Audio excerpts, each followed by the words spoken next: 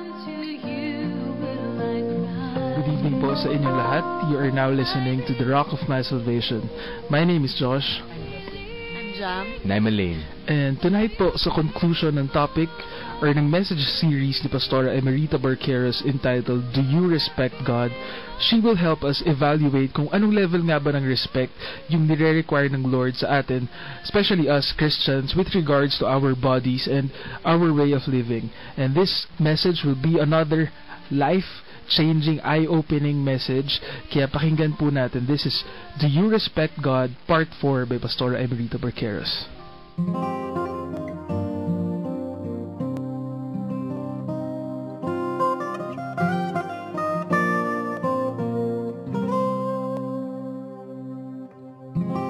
Pagkatapos daw ng Hurricane Katrina sa New Orleans, US, mayroon daw pong pumunta na mga mag assess kung gaano po yung structural damage ng hurricane.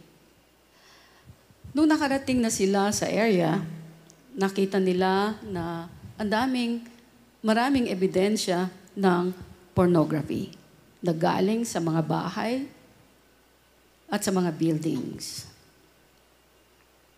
Pag-isipan po ninyo ito. Paano po kung ang mga Christians ay kailangang mabilis umalis ng bahay para makatakas sa bagyo at naiwan nila lahat ang gamit nila. Inanod ng baha. Ano po kaya ang naiwanan nila na madidiscover o matutunghayan, makikita ng mundo? Madidiscover kaya nila sa mga walls ng bahay nila, parang napadikit na yung mga pornographic pictures, yung mga literatures na nakakapag parang parang signs ng remnants ng impurity, even ng self-indulgence, yung parang gamit para sa sarili lamang. Ano po? Ano po yung madidiscover ng mga Kristiyano sa tingin nyo? Madidiscover ba nila? Pwede nyo pong tanongin yung sarili nyo even right now while I'm talking. Yung sila, pwede nyo sabihin mo, ako. Okay? Madidiscover ba nila yung remnants of impurity, self-indulgence, o yung sobrang pagpapasaya sa sarili? Ano madidiscover po sa bahay ninyo? Sa room ninyo? Or, sa ibang banda, madidiscover naman ng mundo, makikita yung evidence of holiness, sacrifice, yung values na natutunan po ninyo. Makikita po ba yung mga sinamahan yung outreaches, yung mga souls na na-win po ninyo, may mga picture na win nyo for the Lord, yung dami ng mga checks na inisyo nyo para sa gawain ng Panginoon. I mean, ano po bang makikita sa loob ng tahanan po ninyo o kwarto ninyo kung sakaling may bigla ang mangyaring ganoon? Now, sa flood pa lang po iyon. Paano po kung ngayon po darating ang Panginoon? Ano po ang matatagpuan niya sa puso, sa isip, sa katawan, sa pamumuhay po ninyo? Well, sa natatakot po o nahihiya, gusto ko kayong matulungan. Kaya po may topic na ganito. Gusto ko kayong i-motivate para hindi po kayo matukso gumawa ng kasalanan. Palagi po ninyo itong tandaan. Number one, ang inyong katawan ay para sa Diyos. Ang Diyos ay para sa katawan. The body is not for sexual immorality, but for the Lord. And the Lord for the body. Dapat po nating malaman na sa kasalanan na binayaran po ng Panginoong Yesus para sa atin, kasama sa tinubos niya ang ating katawan. Kaya tayo tinawag na body of Christ. Pag-aari na po niya tayo.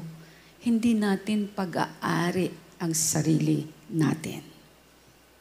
Ganon niya binibigyan po ng high value ang ating katawan.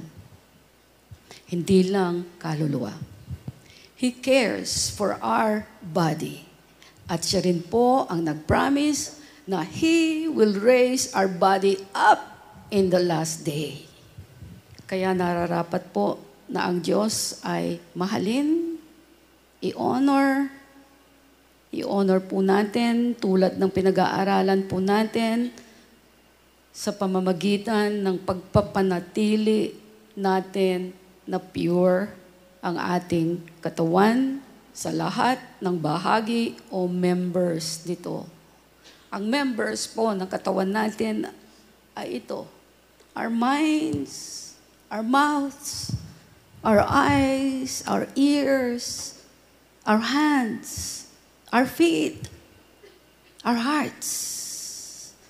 Ano, pong, ano po bang nananatili dyan? Anong nandyan? Anong naririnig ng Panginoon? Sa isip, anong nakikita ng Diyos? Pinapakita po ito kasi ang tao wala ng awareness. Hindi na conscious. Hindi na, hindi na siya conscious, mali na yung iniisip niya. Hindi na conscious na mali yung kanyang pinagpaplanuhan. Hindi conscious na mali na yung ginagawa niya. Pinapakinggan niya. Hindi, hindi, hindi na niya, hindi niya na alam. Hindi niya alam, kaparte siya, kasama si Jesus, ng body niya. Yung head, si Jesus. Marami po ang tulog na tulog dito. Romans 12 verse 1 says, I beseech you, therefore, brethren, by the mercies of God, that you present your bodies a living sacrifice, holy, acceptable to God, which is your reasonable service. I love the word holy. Maraming scared sa word na holy.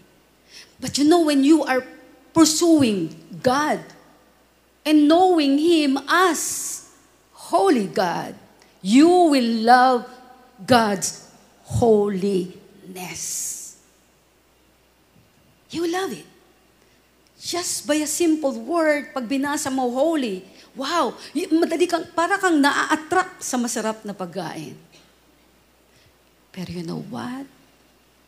The sad reality is this. You can even check yourself.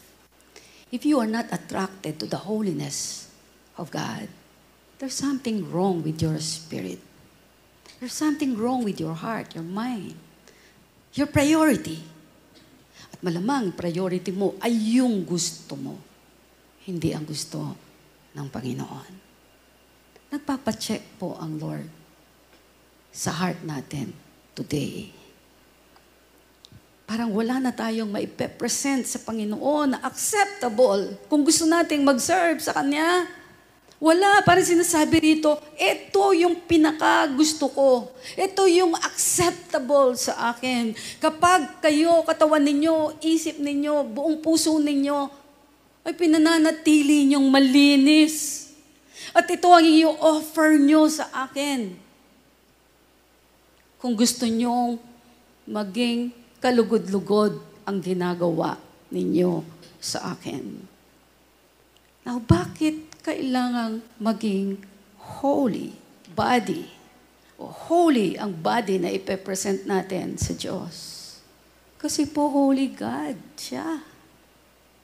Dapat ang body natin na anyo ng spirit natin ay nagko-conform to the person of Jesus Christ.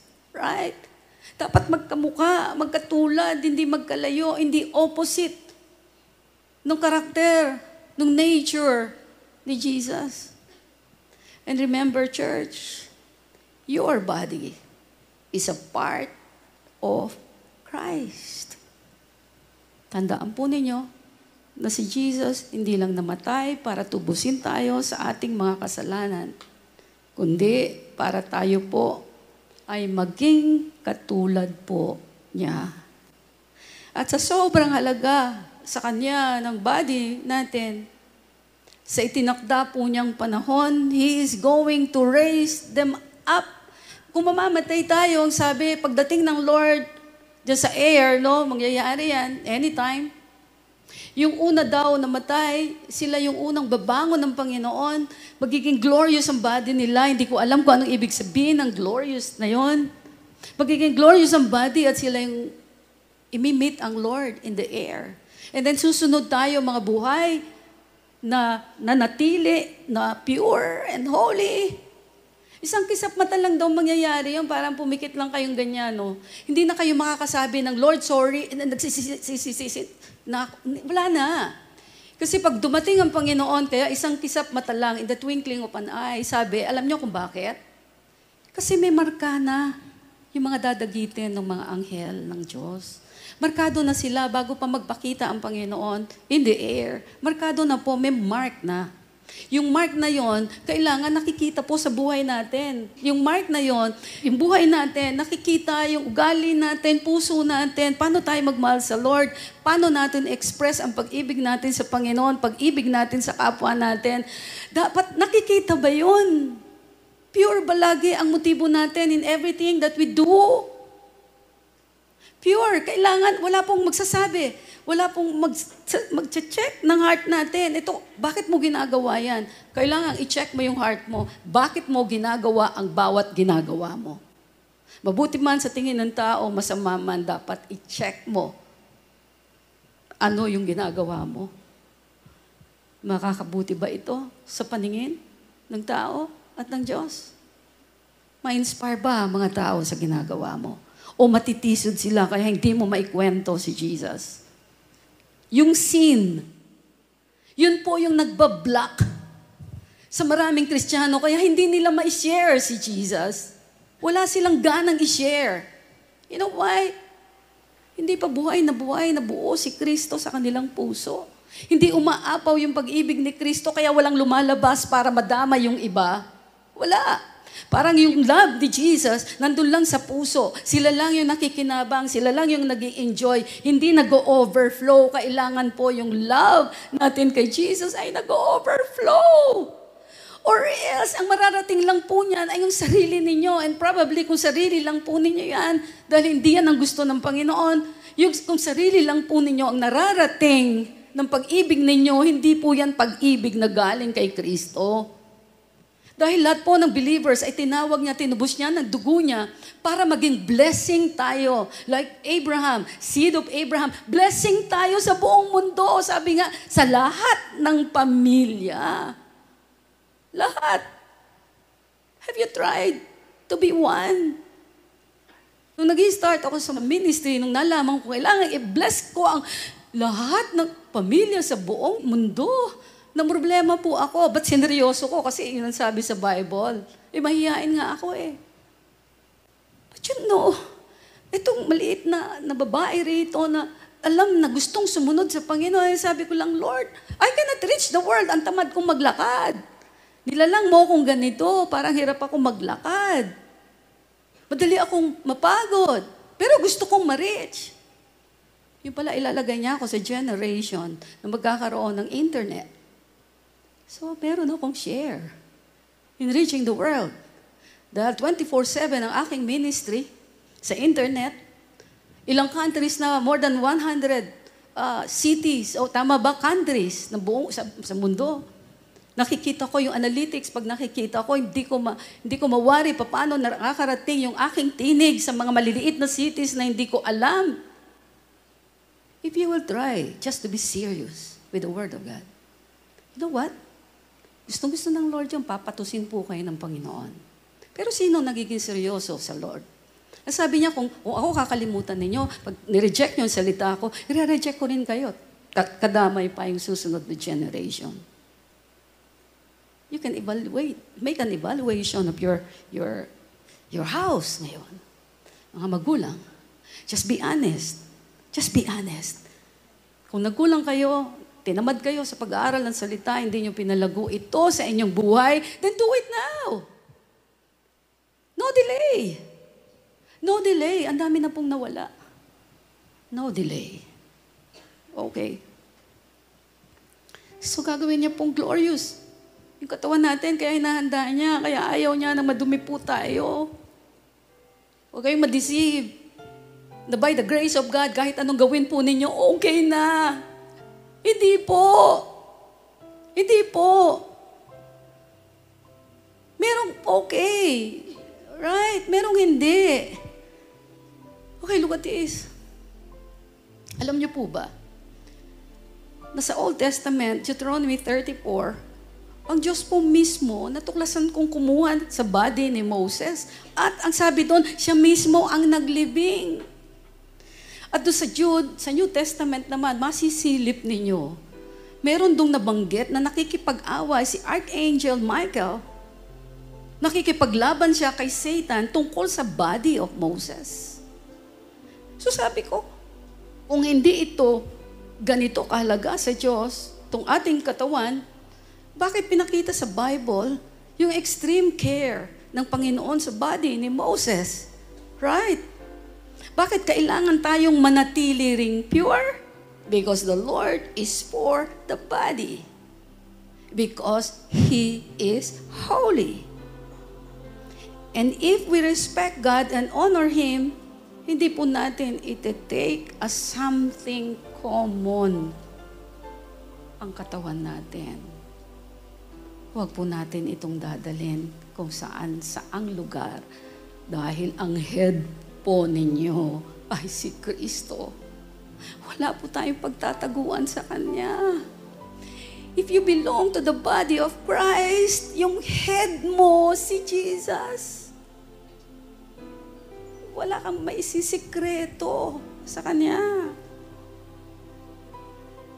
Your body is a part of Christ. At dahil sa union na ito, He receives the glory or the opposite kung hindi po tayo magbibigay ng glory sa Kanya. Kung magbibigay po tayo ng kahihiyan, imbes na glory ang ibibigay natin dahil sa ating moral behavior. Pag nagkaganito po, parang malalagay sa alanganin ang effectiveness ng gospel na pinag-aaralan po natin. And it grieves the very heart of God. Masakit po ito sa Kanya. Kaya sobra pong nagmamatter kung ano ang pinapanood ninyo, ano ang pinag-uusapan nyo, ano ang iniisip ninyo, ano ang ginagawa ninyo, sa privacy ng inyong bahay, sa internet, sa television, it matters a lot. Because the Lord is for the body. Again, mga kapatid, because the Lord is for the body. And He is holy. Holy God po ang Lord. Sino pa ba ang nangangatog in the presence of the Lord? Hindi ka mangangatog kung hindi mo siya nakikita, hindi mo siya napifeel. Hindi. Pero you know, kapag ka nasa presence ka talaga ng Panginoon at nakita mo na siya na Holy God siya, at nakikita mo, kilala mo, well-versed ka dun sa, sa, sa mga ugali ng tao sa mundo. Tapos makikita mo yung purity and holiness of God, hindi ka makakasalita. Ayaw mo magsalita ng kahit ano kasi bihira mo lang maramdaman yon. At yun ang gusto kong maramdaman po ninyong lahat. Hindi po magtatago ang Panginoon sa lahat na naghahanap sa Kanya. Masusing naghahanap. That concludes the message series entitled Do You Respect God by Pastora Emerita Barqueros. And if you want to listen again dun sa kabuuan ng series na to, pwede po kayo mag-log on sa therockofmysalvation.org. And next Sunday naman po, ito, it's going to be a start of a new series, I believe. Kaya, ischedule nyo na po yung uh, sa calendars niyo 8.30 to 9pm next Sunday dito sa DWIZ 882 kilohertz. Let's start with Elaine. Holiness. Yes. That's the bottom line of Mhm. your message natin today. And I love, love that part of the message. Ulitin ko lang, no, sabi ni Pastora, that our love for Jesus has to overflow to the point where we make it a mission to pursue holiness. Mm-mm. That we break free from sin and let God own our bodies. Paulit-ulit ni Pastor sinasabi, ano, God, the Lord is for our bodies. Yeah. And John Piper, he once said that we make war with our sin. And I think that's the right term for it in, our, in this topic of pursuing holiness. A life of worship and respect to God is not just a life that casually turns away from sin. Hindi lang ganun, but a Mhm. life that makes war with sin. And it's easier to make war with sin if we know that the body in which we make war with is not owned by us, Mhm. but owned by God. Diba? Kasi knowing that God is by your side helps you realize that I will win this war against sin by the simple fact that God is in control, that God is on my side, that I return the ownership of my body to the Creator to the point where you feel like you need God's permission for anything and everything that you do with your body. Yeah. Yung parang humingi ka na permission kahit anong ginagawa mo 24/7. And the great thing about our pursuit of holiness is ang Lord, hindi lang siya witness. He's Mhm. not a, a God who stands on a pedestal and looking down Yeah. below. Mhm. Hindi siya hindi niya tayo pinapanood na parang ano kaya magagawa nito? Let's watch and see. Mm-mm. No, God is actively fighting for us, uh, actively fighting alongside of us, and He'll carry us if He has to in this pursuit of holiness. And yes, meron grace, sabi nga ni Pastor, meron grace, but let's show God naman that we don't take His grace for granted. Yes. Totoo yun. And sabi mo nga, di ba, na-mention mo parang na our, God, our God is fighting for us. Eh, di ba may kinakanta tayo na if our God is for us, who can stand against us? Kailangan lang natin to resist yung temptation, to resist the devil, and He will flee from us in Jesus' name.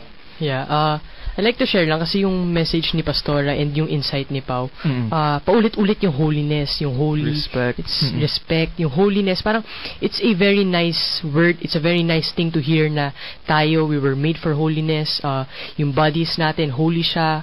Uh, holy temple siya. Mm-mm. But yung word na holy kasi parang minsan, it's a very mabigat na word. Yeah. And parang maybe yung mga nakikinig right now, you might think na, ah, holy, parang hindi naman ako no, yan. But sabi nga sa Genesis 1 verse 27 na tayo, we were made in God's likeness. We were made through hing, yung image niya. Kaya you might think na, ah, hindi ako holy because of this, because uh, naglalay ako or uh, na, when I look at someone, minsan I look at them yung wrong way. Mm. But uh, hindi kasi tayo nagiging holy through yung ginagawa natin, but Yeah. through what yung ginawa ni Jesus. On the through cross, yung, yes. On the cross, yung Mm. uh, pagka pako ni Jesus. That's what really matters and that's what saves us and that's what makes us holy. True. And yung power kasi na, kumbaga parang in, in our behalf, hinihingi natin sa Lord. Kasi most of us, parang we think na si Jesus natapos yung story when He died on the cross. Yeah. But the truth is kasi hindi nag-stop on the cross. Kumbaga, nag-resurrect siya, buhay siya ngayon, and He is at work sa buhay nating lahat. And ako naman, no, gusto ko lang isingit din yung sinabi ni Pastora kanina na, ah, tawag dito, yung hindi enough na sinasabi natin, love natin ang Lord, nire-respect natin siya. Yes, we are saved by grace, but also we are saved by grace through faith. And sabi sa Bible, faith without action is dead.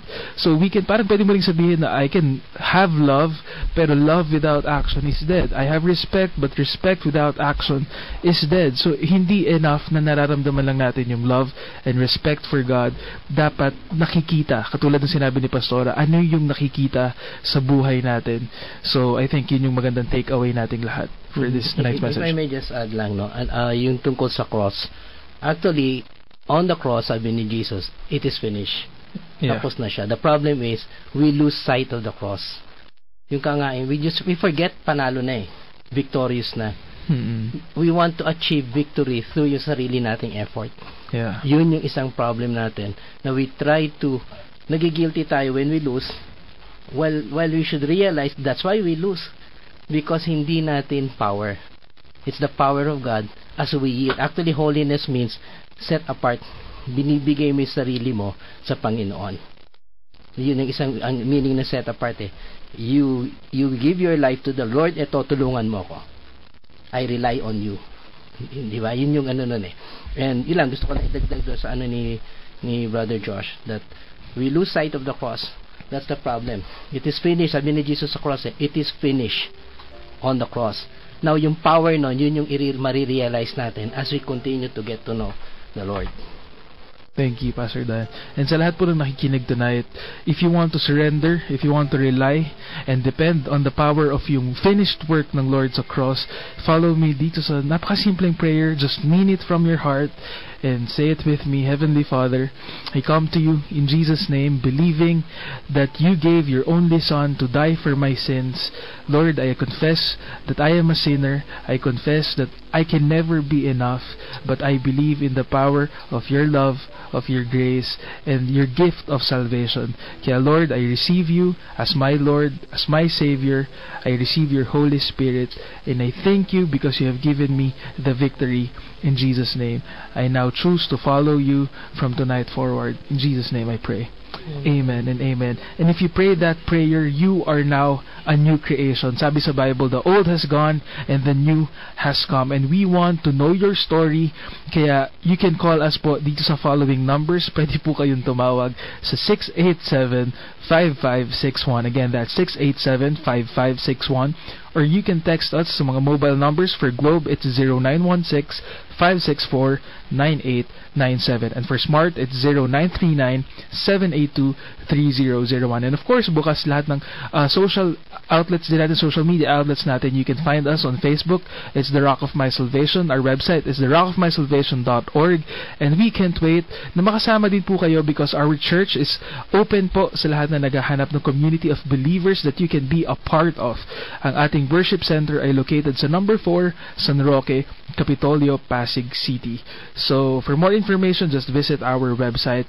And tonight, to kasama natin ngayon si Jam kasi isang patotoo ng respect for God is yung nangyayari din sa ating feeding mission na pinangalanan nating Joseph Feeding Mission um, kasi nakikita natin na even to the poorest of the poor, alam mo sa homeless, sa street kids, makikita mo the way we prepare yung team natin from the way we present ourselves hanggang sa food na binibigay natin talagang yung respeto para sa Lord pinapakita din natin sa kapwa natin now alam ko puno ulit yung kwento ni Jam ngayon kaya hindi ko na matatagalin Jam Yes, good evening po sa inyong lahat. Praise God, another week, another report and. JFM update ulit. And totoo yan, punong-puno po yung ah, report natin dahil sa totoo po, habang busy po tayo sa kanya-kanyang buhay natin, busy tayo sa family natin, sa school, Mm-mm. sa work, and malabi pang iba, yung JFM team po natin sa Visayas naglalakbay sa Barangay Sangotan, Island of Conception, sa Iloilo po yan. Sana tama yung pronunciation ko. And sa totoo po, sabi nga ni Pastor Don Baroro, siya po yung isa sa mga partners natin sa Iloilo. Ah, malayo-layo yung lugar to, Island of Conception nga, no? And kanina sa church, pinapakita natin yung photos nila. And nakita natin na tabing dagat yung dinaanan nila. And hindi yung tabing dagat, Yeah. mabuhangin lang na masarap Mhm. lakaran. Hindi eh. Malaking bato-bato na hindi pantay-pantay. yung nilalakaran nila, tapos karga-karga nila yung boxes ng pagkain, Mhm. boxes Mhm. nung ah, mga plato, Yes. yung, yung mga ano mangkok natin. Oo. And kahit mabibigat yung dala nila, all smiles pa rin sila. Nakakatuwa kasi kanina nakita namin yung mga pictures. Ah, all, all smiles pa rin sila. Sobrang nakaka-bless. And sabi po Mhm. ni Pastor Don sa message niya sa atin. And para sa atin po itong lahat, sa lahat po na nagsusupport, sabi, thank you po sa support and partnership ninyo. Maraming nagagalak or nagalak sa feeding natin ah, doon po doon sa barangay sa ah, Island of Conception dahil kahit daw po malayo, naramdaman nila na sinadya pa natin sila at Yeah. sobrang naramdaman ng, ng mga tao yung love sa kanila ni Jesus. And kinukwento nga nila kahit wala pa yung food nire-ready pa lang nila, tuwan-tuwa na yung mga bata, sobrang nakangiti na kagad sila, excited sila dun sa daladala natin. And gusto ko po kayo i-congratulate dun sa mga patuloy na nagsusupport, yung never-ending support niyo Yes. po sa lahat ng nag ah, support dito. ah, maraming maraming salamat po. Imagine niyo po, ah, nagtanim tayo ng good seeds sa mga Yes. taong to. And kahit gaano sila kalayo, 'di ba? Hindi natin alam yung seed na tinanim natin ngayon or Mhm. sini- seed na tinanim natin last year, Yeah. nung last week. Ah, sa future, 'di ba? Hindi natin alam kung sila na yung mga future pastors, Yes. evangelists, doctors, teachers, and ang JFM po, good soil to eh. Rich Mhm. soil nga, di ba? Kanina yung pinag-usapan Yeah. natin sa church. And hindi pwedeng Huwag po kayong papayag na tagapakinig lang po kayo ng updates, ng testimonies. Huwag kayo pumayag na hindi kayo mag-take part. Kasi Mhm. kanina sa School of Leaders, quickly lang, ah, pinag-usapan namin yung ano eh, diniscuss namin yung blessings ng ah, nag-o-obey sa Mhm. Word of Mhm. God. And 'di ba nakasulat talaga sa Bible na kailangan nating mahalin yung kapwa natin. Love our neighbor, love ourselves. yung poor, Mhm. 'di ba? Kaya ah, mag-take part po tayo dito. Wag po kayong magpapahuli. And also check yung Facebook page natin. Ang dami na po naka up na mga pictures and Mhm. updates pa po ng mga iba pong feeding outages natin. Yes, and yung kinuwento mo kanina, no, Island of Conception, Yes. yung tunog pa lang parang wala na siya sa Metro Manila kaya Yes. alam kong malayo siya and nung kinukwento mo yung pictures kumbaga parang tayo hindi tayo pwedeng makarating doon ng ganun kabilis Oo. pero by supporting by taking part dito sa cause na to it's as if kasama natin sila and for yung regional pastors din and partners na kasama natin it's uplifting na malaman mong full support din yung partners mo from Luzon, Visayas and Mindanao na parang talagang we are one dun sa cause natin dito sa JFM. Abangan nyo po yung mga pictures dyan. I-up po natin yan sa Facebook page natin. Uh, i-search nyo lang po yung Joseph Feeding Mission or yung ah, website natin, josephfeeding.org. Makikita nyo po doon ano po yung mga ways to give natin. Pwede po kayong, ito po yung mga ilang gusto ah, mag-take part dito sa Joseph Feeding Mission. Pwede po kayong mag-deposit through BDO. Ang account name po natin ay Joseph Feeding Mission Outreach Foundation Inc. Again, it's Joseph Feeding Mission Outreach Foundation Inc. Ang account number po natin ay 4020-182-461. Pwede rin po through money transfer services. Ang authorized person po natin ay si Sister Gemma Ochoa. Ang address po ay number 4 San Roque Street, Barangay Capitolio, Pasig City, Philippines 1603 or through GCash. Ang cellphone number po natin ay